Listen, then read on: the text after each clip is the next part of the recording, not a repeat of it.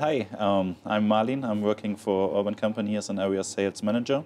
Um, I'm responsible for the UK and Ireland as well.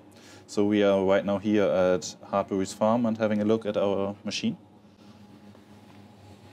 Hi, I'm Marcus from O'Donovan Engineering, um, here today as well uh, at Hartpury College, and um, we're just going to talk through the urban machine and find out a bit more information about it. Yeah, so Hartpury College is um, using two urban feeders with two stations each, uh, all equipped with the UVC technology for disinfecting. Um, here there's some, some new um, trials they do. Um, they put the calves on after just one day they got colostrum on the first day. On the second day, they're coming right to the machine, and then they are keeping them in small groups from like uh, 10 to 15 calves. Um, they got some experience with smaller groups. They had better weight gains. So they dropped down from 12 groups to now 10 group, uh, groups of 10. Mm. So um, they have better weight gains of like 100 grams a day more with just reducing two calves in each group. Is that due to competition then on the teat-in? Is, it? is that the yes, reason? it is. Because if you have such young calves, you always have some, some competition. They have to learn to use the machine right, yeah. to go on the teat to find the machine, and they need some time in the station. So when you start with smaller groups, and then after a few uh, weeks or 10 to 15 days, you can go into, into bigger groups. And what sort of capacity numbers would you be looking then on the, on one station? So we recommend 20 to 25 calves each station because it's just also uh, the time of the competition as well. If you have bigger calves, they drink more, so there's more time in the station. And um, the day only has 24 hours, so they need some time to, to go to the station and not be bullied out. Yeah. So you always have some some recommendation. It's not the feeder who's the limiting factor. It's always the animal because they are not consistent. They do what they want, and we can't uh, force them to to be in the drink station all the time, or that only this calf is allowed in this moment. So we're working with an animal with their own head. And so if you have too much animals, you get some problems and weight gain. Also health because they are not getting the right amount of milk in. Okay. So, what makes somebody look to an urban machine? What's the standout points? How is it helping monitor calf health and intakes and feed curves? Um, and it'd be good to know, have a look maybe inside the machine as well it's and talk no about problem. what's inside. Um, on the machine, we're working with a 12 inch touchscreen. Um, it's now no calves on it, so it's not that interesting. But we are working with the traffic light system for uh, the health monitoring. Yeah. Um, the green calves are all okay. The yellow calves have some problems, maybe getting ill or have some other problems. The red calves we definitely should have a look about. And we also have this one-touch overview button uh, where you can all find all calves that are yellow and red and are allowed to drink right now. So every calf, we call it every calf that's uh, thirsty right now.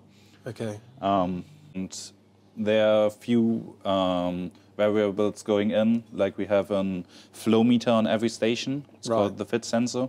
Yeah. So for every calf, due to the RFID tag, we know how much every calf is drinking. Um, as well as if there's some drink pauses um, through the RFID tag, we also know how often the calf is coming into the box or um, if it's drinking then or not. So, so, the drinking rate, the amount. Uh, the amount the calf is drinking, oh, also the time it needs to drink, yeah. And also um, how active the calf is in the box or in the stable, because if it's walking around and if it's fit and looking for some feed, it's coming in the box more frequently, and we tag every visit. So also if it's not drinking or not allowed to drink in the moment, we have the monitoring that the calf is active in the pen and walking around there.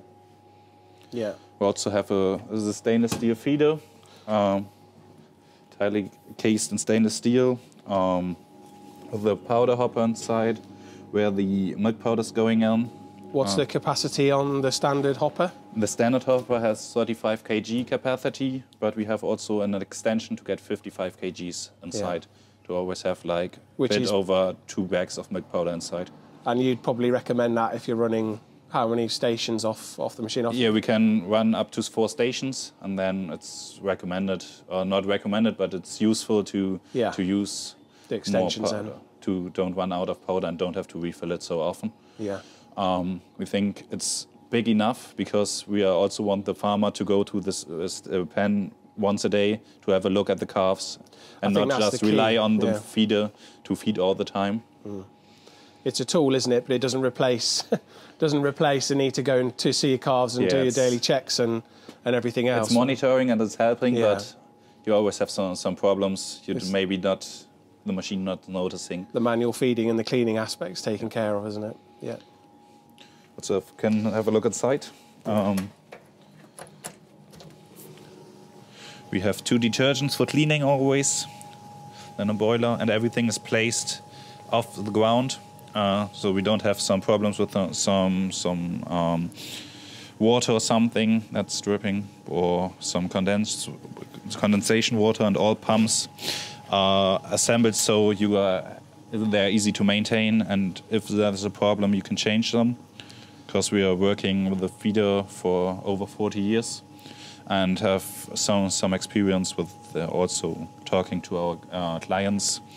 The uh, dealers they have to maintain the machine, and they also get us give us feedback how to assemble the pump or get put the pump in, so it's easy to repair or maintain if there's a problem. It's definitely very accessible, isn't it? So this isn't the standard station. This is a bit different, isn't it? It's got the UV Yes, it's, it. it's the hygiene station. Um, we're disinfecting the teat with the UVC radiation. Yeah. Um, it's changing the DNA of germs and bacteria and everything, so they can't reproduce. Um, oh, I see. So the light then, so the red light means it's actually the UV is active. Yes, the then red when- light is a control light for the UV because Yeah. you can't see it with your eyes, and the um, white LEDs are just for, for Make some light to to, find the teeth Ah, if yeah, it's yeah, some a bit dark on the pen. Yeah. Very There's good. also um, sensor on top because the radiation of the UVC can hurt the skin. So if there's come animal coming in, the UVC is turning off. Switched off. Yeah. And with every two stations, you need a station electronic. Um, it shows you the number of the calf when it's coming in.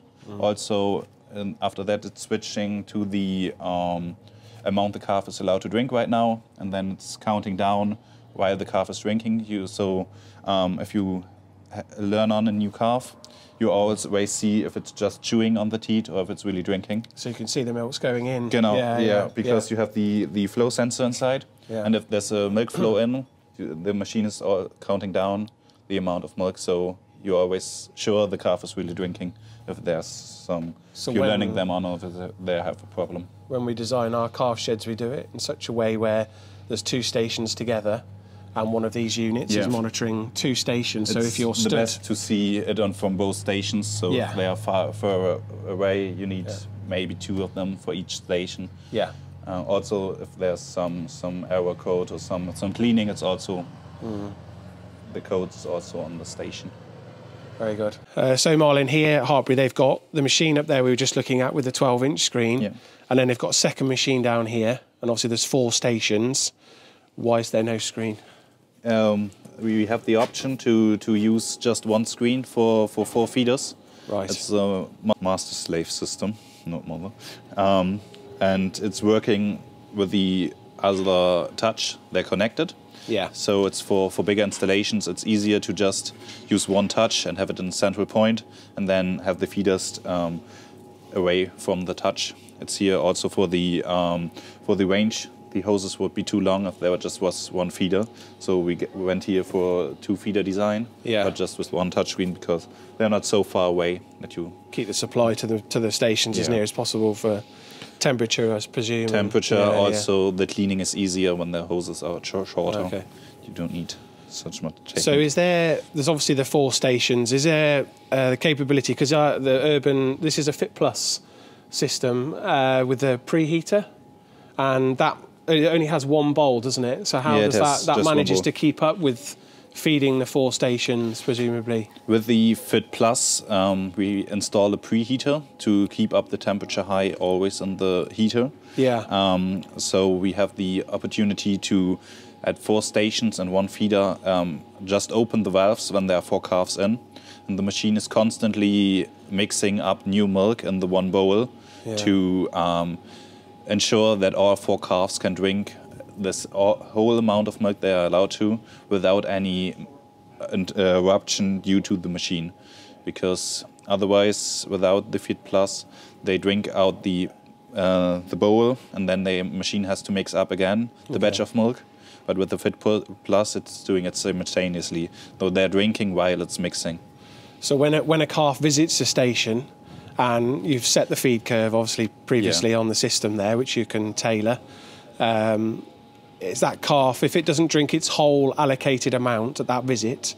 What happens to that? Does it lose that allocation, and or does it get moved forward onto the? Um, if the To the calf, next visit it depends such? on how much the calf has drank of the amount it was allowed. Okay. Like if they are reaching a amount uh, inside that is calculated by the machine, Yeah. it's losing the right. But if it's less, um, then there's the amount is transferred to the next visit. Oh, fine. So if it, if the calf is drinking way, way less, it's allowed to come back um, after a shorter time period. I see, yeah, If it has yeah. enough for the time period, that's added to the next drinking uh, visit after the, the pausing time, Right. the amount that the calf is allowed to drink. Very good. Thanks, Marlon. Thank you for uh, watching our video about the Alma Pro calf feeder. And stay tuned to Donovan's Engineering and hit the follow button and maybe leave a comment if you want.